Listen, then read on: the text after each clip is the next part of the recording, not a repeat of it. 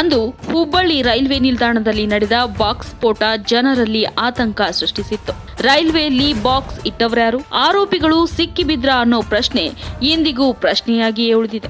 ಇದಕ್ಕೆ ಕಾರಣ ಪ್ರಕರಣದ ತನಿಖೆ ಹಳಿತಪ್ಪಿದ್ದು. ಅಕ್ಟೋಬರ್ ಇಪ್ಪತ್ತೊಂದು ಹುಬ್ಬಳ್ಳಿ ರೈಲ್ವೆ ನಿಲ್ದಾಣದಲ್ಲಿ ನಡೆದ ಸ್ಫೋಟ ಜನರಲ್ಲಿ ಭಯ ಹುಟ್ಟಿಸಿತ್ತು.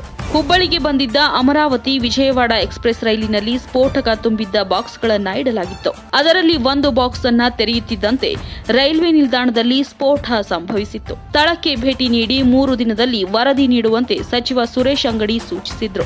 ರಾಜ್ಯ ಪೊಲೀಸರತ್ತ ಬೊಟ್ಟು ಮಾಡಿದಾಗಲೇ ಎಚ್ಚೆತ್ತುಕೊಂಡಿದ್ದ ಗೃಹ ಸಚಿವ ಬಸವರಾಜ ಬೊಮ್ಮಾಯಿ ಪ್ರಕರಣದ ತನಿಖೆ ಕೈಗೊಂಡಿದ್ದ ರೈಲ್ವೆ ಪೊಲೀಸ್ ತಂಡಕ್ಕೆ ಸಣ್ಣ ಸುಳಿವು ಕೂಡ ಸಿಗದಿರುವುದನ್ನ ಅರಿತಿದ್ರು. ಈ ಪ್ರಕರಣದ ತನಿಖೆ ರಾಜ್ಯ ಪೊಲೀಸರದ್ದಲ್ಲ ಅದೇನಿದ್ರೂ ರೈಲ್ವೆ ಪೊಲೀಸರು ತನಿಖೆ ಮಾಡ್ತಿದ್ದಾರೆ ಅಂತ ಖಡಕ್ ಆಗಿ ಹೇಳುವ ಮೂಲಕ ಪ್ರಕರಣದ ತನಿಖಾ ಜವಾಬ್ದಾರಿಯಿಂದ ನುಣುಚಿಕೊಂಡಿದ್ರು. ರೈಲ್ವೆ ಸ್ಟೇಷನ್ದಲ್ಲಿ ಸ್ಫೋಟಕ್ಕೆ ಸಂಬಂಧಪಟ್ಟ ಇನ್ನೂ ತನಕ ಏನು ಅದು ರೈಲ್ವೆ ಪೊಲೀಸ್ ನೋಡ್ತಾ ಇದ್ದಾರೆ. ನಮ್ಮ ಇಲಾಖೆ ಸಹಕಾರ ಮಾಡ್ತಾ ಇದೆ. ಅಲ್ಲ ಇನ್ನೂ ತನಕ ಯಾವುದೇ ಕ್ಲೂ ಸಿಕ್ಕಿಲ್ಲ ಅಂತ. ಅದು ರೈಲ್ವೆ ಇಲಾಖೆ ಕೇಳಬೇಕು. ಇವಾಗ ಸ್ಟೇಟ್ ಗೌರ್ಮೆಂಟ್ಗೆ ಜವಾಬ್ದಾರಿ ಕೊಟ್ಟಿದ್ದೀವಿ ಇನ್ವೆಸ್ಟಿಗೇಷನ್ ಮಾಡ್ತಾರೆ ನಮ್ಮ ಪೊಲೀಸರು. ನಾವು ಇಬ್ಬರದು ಮೇಲೆ ಕೋಆರ್ಡಿನೇಷನ್ ಬೇಕಾಗ್ತದೆ. ನಾವು ಅವರು ಪ್ರತಿ ರಾಜ್ಯಕ್ಕೆ ಒಂದೊಂದು ಚೇಂಜ್ ಹಾಕೊಂತ ಹೋಗೋದು ಟ್ರೈನ್ ಆ ಟ್ರೈನ್ ಚೇಂಜ್ ಆದಾಗ ಬರೀ ಜವಾಬ್ದಾರಿ ನಾವು ಆರ್ ಪಿ ಎಫ್ ಮೇಲೆ ಹಾಕಕ್ಕಾಗಲ್ಲ.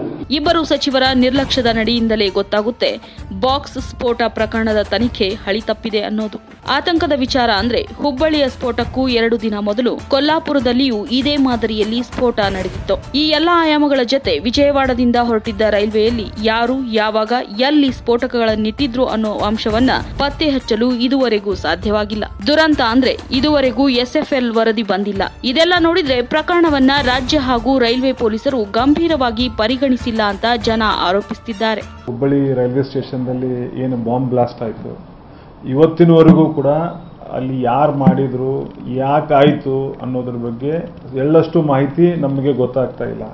ರೈಲ್ವೆ ಡಿಪಾರ್ಟ್ಮೆಂಟ್ ಪೊಲೀಸರು ಕೂಡ ಯಾವುದೇ ರೀತಿಯ ತನಿಖೆಗೆ ಮಾಡ್ತಾ ಇಲ್ಲ.